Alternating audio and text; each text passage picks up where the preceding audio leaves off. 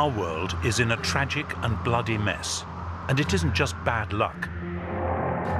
There's a force which drives people, you, me, politicians, and even whole nations in the wrong direction. Our world has tried to ignore it, but recent events have shown us we can't.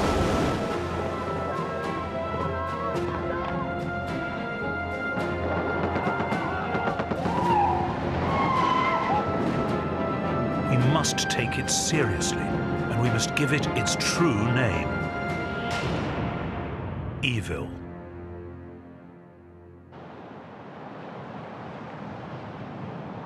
We can't look honestly at the world without recognizing that evil exists. Real, serious evil is going on all the time. But it doesn't have to be this way. There is a solution and it offers us a startling but effective way of dealing with evil in the real world. Unbelievable? Well, you may be surprised. So what exactly is evil? And what do people like me mean when we talk about Jesus' death as some kind of victory over evil? It's my belief that in today's world we've been going about things in entirely the wrong way we tried to pretend that evil didn't exist or that if it did, it was just a little problem and we could deal with it quite easily.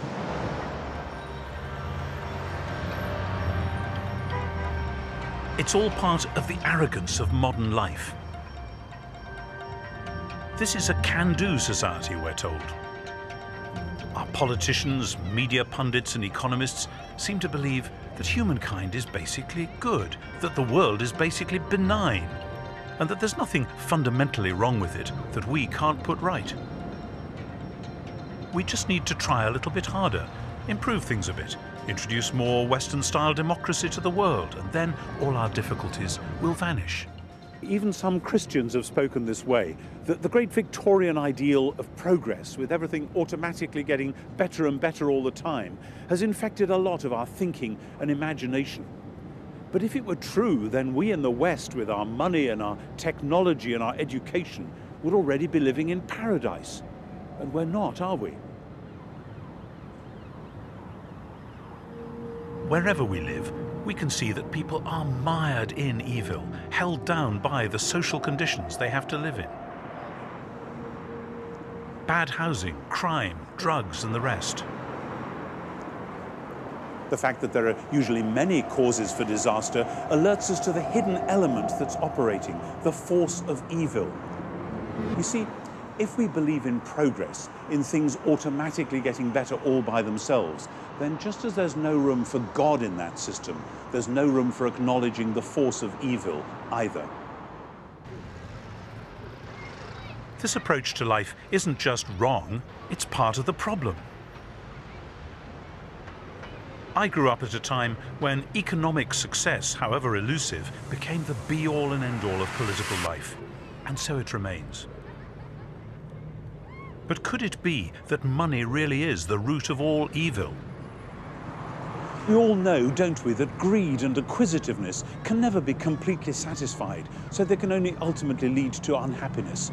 And yet we have built our whole society on trying to satisfy the relentless quest for consumer goods. And that doesn't make sense, does it?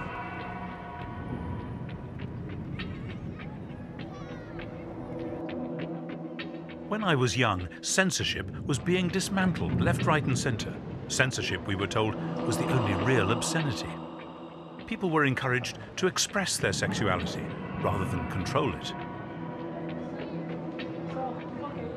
But we forgot that evil works in that way too. We all know that sexual licentiousness produces massive unhappiness in families and in individual lives. But we live in the 21st century, don't we? And we don't want to say that adultery is wrong.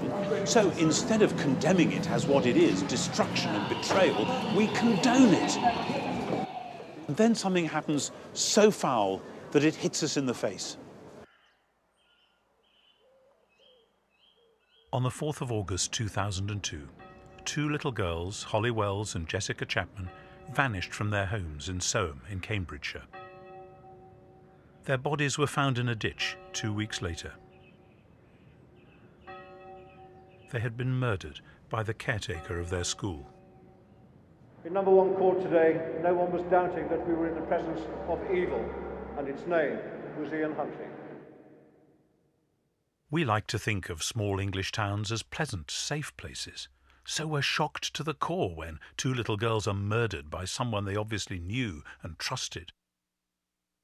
Today, we have no way of coping with evil of that kind. Yet newspaper editors love the word evil.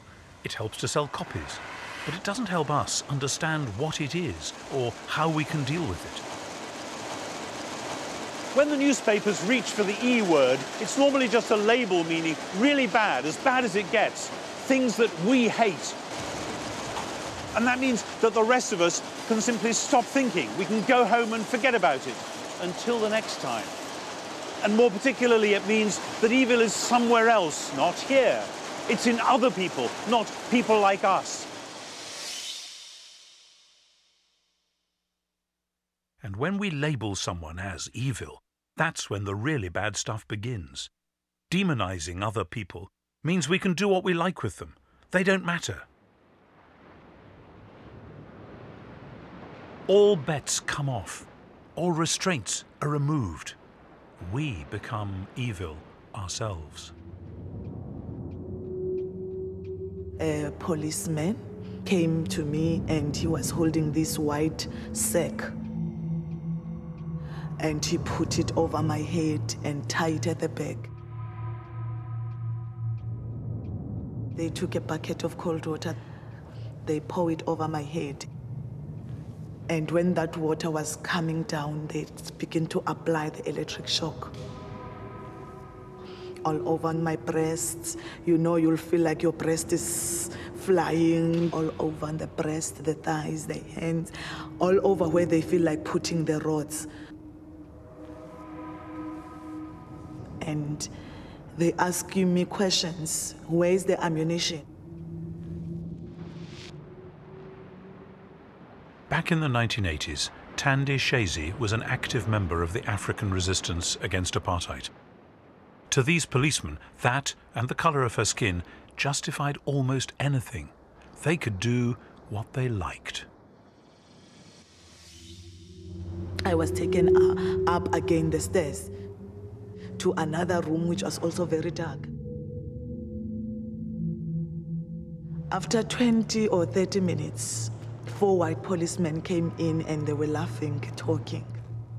They brutally began to rape me, all four of them, gang raped me. Through the holes of the sack, you could see that these are white people. And they were talking in Afrikaans and they left me sitting there shaking and angry. When people deny the humanity of others, they become evil themselves. Perhaps British people think they aren't capable of things like this, but they are. We all are, as recent events in Iraq have demonstrated. Even so, it's possible to break that link. It's time to go back to a more thoroughgoing approach to evil. It's somewhere between two and 4,000 years old. And it makes more sense of the facts on the ground. And what's more, it shows us a better way of doing something about them.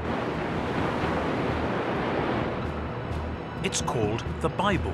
Its solution seems to fly in the face of all the rules of modern life, but I'm going to show you how effective the biblical solution is.